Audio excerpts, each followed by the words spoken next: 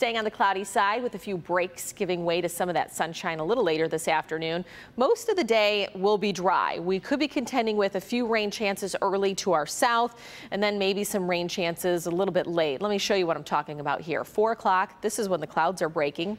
And so we get a little bit of sunshine. Clouds will roll back in. And so overnight going into tomorrow morning, I'm not going to rule out a stray shower. The data here picking up maybe a little sprinkle or two in Livingston County, but a lot of that fizzles out. Now we don't see much until tomorrow afternoon, really. And that is even going to stay north into the thumb, maybe even north of Lapeer. But the widespread stuff that comes after 7 tomorrow. So kickoff for high school football could be dry but most of the game probably will not be. This is 8 o'clock where you see from Ann Arbor all the way up towards Saginaw, Sandusky, Mount Clemens, Detroit, getting the rain showers and that fills in throughout the evening. So even at midnight, widespread steady showers are across the area. That's midnight Friday going into Saturday morning.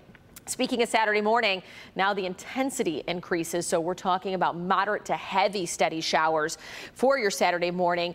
Good news is if you do have outdoor plans Saturday, hopefully it's midday because we could get a little break. However, it's going to be soggy out there from all of that rain. And then more rain develops later in the afternoon, 5, 6 o'clock onward, where some more showers will roll through. Then come Sunday, this becomes much more spotty and scattered. So let's start with tonight. Mostly cloudy, 48, lighter winds out of the northeast. And tomorrow, back in the upper 50s. 50s, mostly cloudy with the widespread rain and some gustier winds developing as we get in the later part of the evening. Now we have yet to have a frost and the later the fall frost, the longer the fall allergies last. This is new data coming in from Climate Central when it comes to freeze free fall days. And now we're seeing that extended by almost three weeks, which means if it takes three weeks longer to get that frost, three weeks longer to deal with these allergies, moderate levels of mold right now.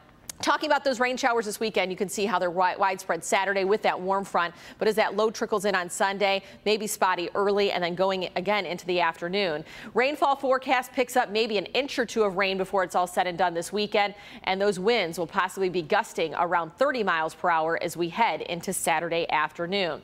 So that's what we're looking forward to. Otherwise, temperatures steadily stay in the 50s. If you're heading out to the Freep Marathon, I think that there might be a nice window where we're drying out, but otherwise Saturday's a washout and we're staying cooler than average for seven days.